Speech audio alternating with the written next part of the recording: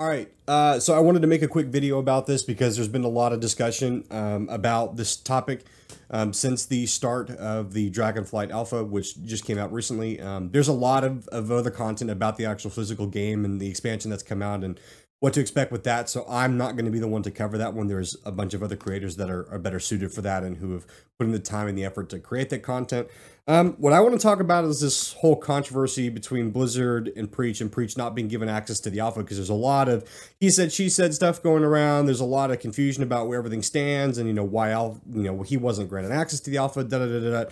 Um, I am going to slightly give my opinion on this one, but before I do that, um, and before I say anything at all about what was right or what was wrong. I'm going to go through the bare bones facts about what happened between Preach and Blizzard. This is not opinion. This is not subject. This is what he said. This is why he said it. And then this is what Blizzard did. And there's no, no ifs and buts about it. It's the truth, the whole truth, nothing but the truth. Not subject to interpretation. This is the way it happened.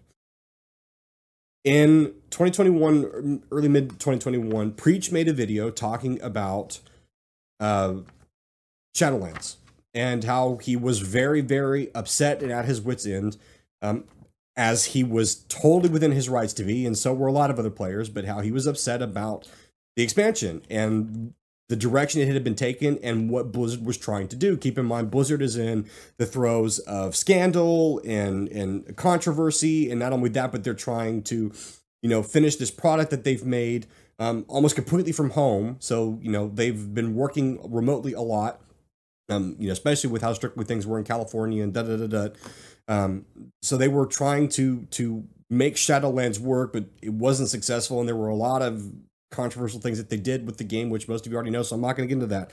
Um, I'm gonna go through because I've I've listened. I went and rewatched this content and a lot of other Preach's content, and I wanted to get to the bottom of why he made the decision to stop covering uh, Blizzard content, to stop covering World of Warcraft specifically, um, and what his thoughts were. And it basically boils down to this. So the the first primary reason that he left, and he stated this from the outset of the video, the straw that broke the camel's back is that he was upset with the controversy surrounding Blizzard and the culture of the work there and all the stuff that was going on and you know the the allegations of stuff that were flying and the investigations that they were under that was it for him. And he took basically a moral stance on that and I 100% support him for doing that and I think he made the right decision in that aspect to say, hey, I'm not going to support a company or support a game developer that engages this kind of stuff until this gets fixed. 100% support that. He made a moral a moral stand there, and he's well within his rights to do. So that was the first reason why he left. But then he outlined a bunch of other reasons that had more so do with the game as to why he left. Um, he listed that he left after having to deal with uh, multiple expansions of bad systems. Totally get that. If you're looking at Battle for Azeroth, the freaking Azerite system was bad. If you're looking at Shadowlands, Shadowlands was bad. You can point to anything there, Shards of Domination, whatever. He got very specific about it, but he basically stated that multiple expansions of bad game development was contributory as to why he no longer wanted to play or cover World of Warcraft.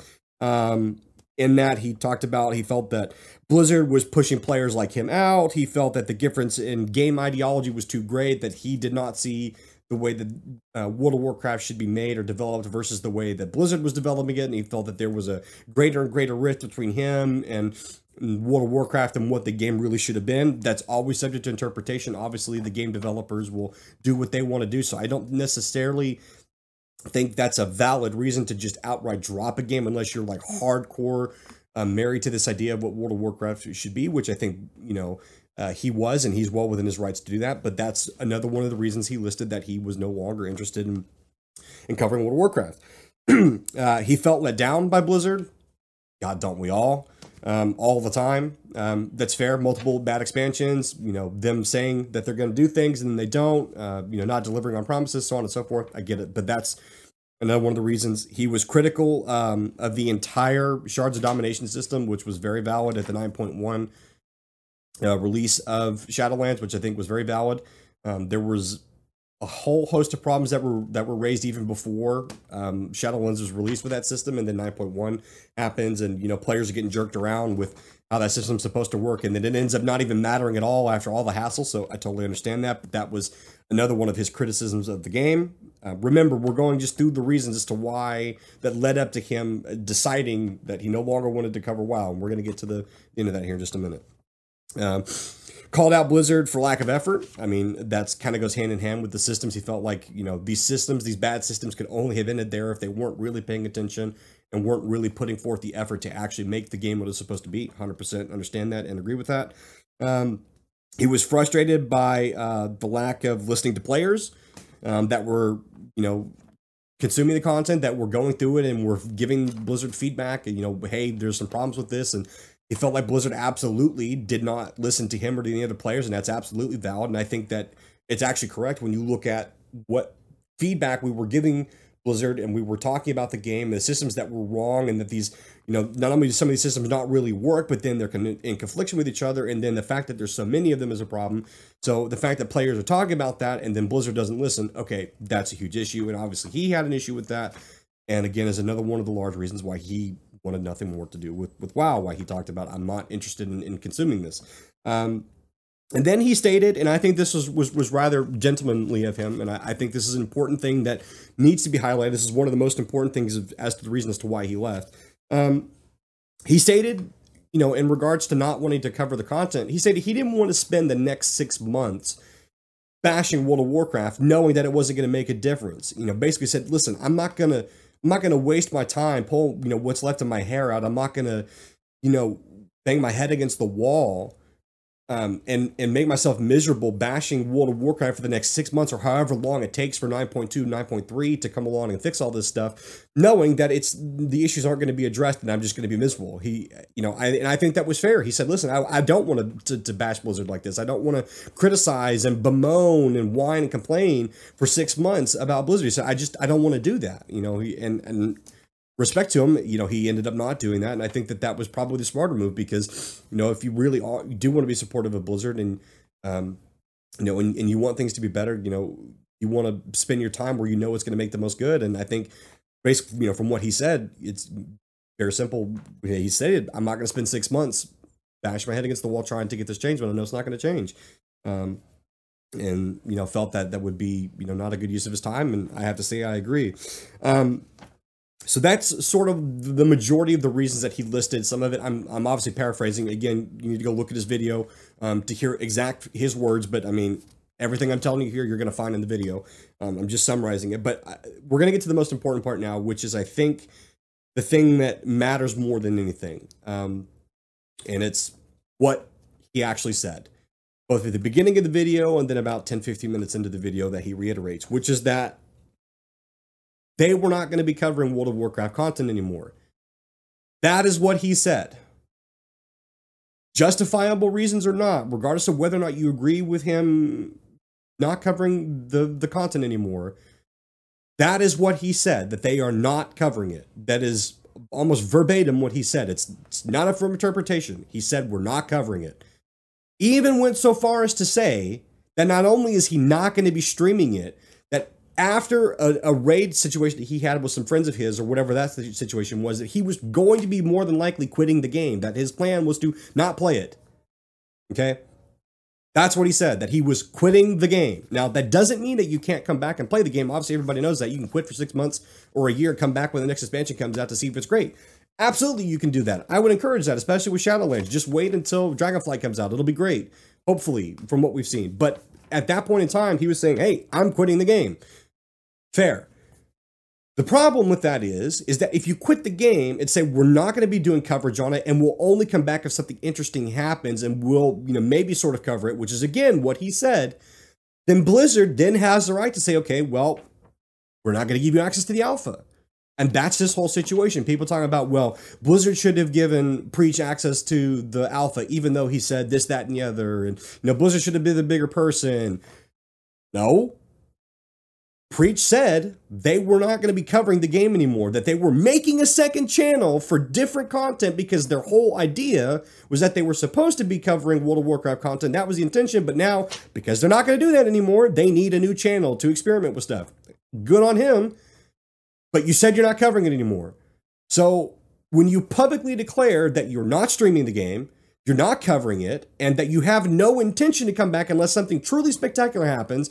And, and which, by the way, he said that the only way he would come back is if Blizzard fixed all their cultural problems. If he, if they made a, a, a an obvious and genuine show of fixing all their issues and making sure that you know that the company was good and that the people that were working there were good and they were you know treating each other right and all this other stuff. Like he basically said that he's not going to come back unless you know that Blizzard makes a genuine effort and you know genuinely makes progress in, in making that company you know honorable again. You know worth worth supporting. That they're not going to come back.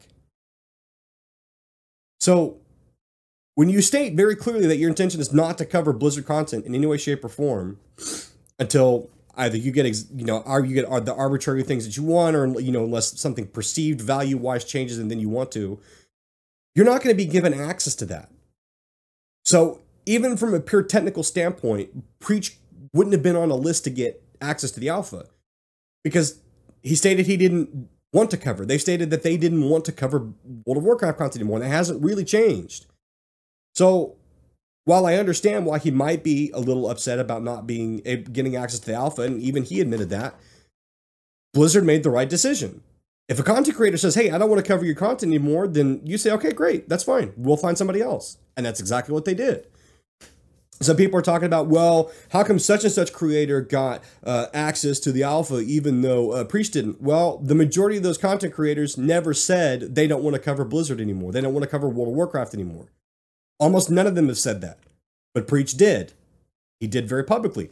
Again, he said that for the right reasons. I, I I can't disagree with any of the reasons he listed for not covering World of Warcraft content anymore, especially given at the time of when he said it and how bad the game was when he did it, right? He's got well-reasoned arguments and and and you know, very logical reasons for not covering the content. But you know, things have consequences. And you talk about further on down the line, that opportunity may not be there further on down the line when he was talking about, you know, maybe potentially coming back if, you know, the things that they wanted that he wanted to change changed, then, you know, maybe he would consider it. But you know, you don't get to decide that. And so when you've washed your hands of something, which is what he did, then it's not up to you anymore. And Blizzard made that decision and they made the right decision. They made a fair decision. Blizzard cannot be criticized for not giving him access to the alpha. He said he didn't want to cover it anymore. He said he was quitting the game. Not to say that he can't come back, but that doesn't mean that when you come back, you're just, it's going to be Blizzard welcoming you with open arms. Not how that works. You know, so again, do not do not get this twisted. I I support preach 100% and I support the reasons for why he stopped covering World of Warcraft. And I respect that he's probably interested and excited about the possibilities for Dragonflight. 100% I, I support that. And I would I would be, I think it'd be really cool if he got access to, you know, the beta coming up. But I 100% understand and agree with Blizzard not giving him access to the alpha on a technical standpoint.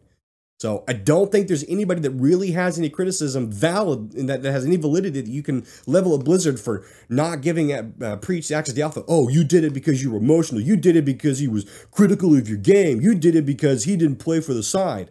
No, he said he didn't want to anymore. You know, if you don't believe me, go watch his video. Watch the whole thing. He says it multiple times. Again, said he was quitting the game. If I was Blizzard, I wouldn't give him access either. I'm not going to give somebody access to a game that they say they're quitting.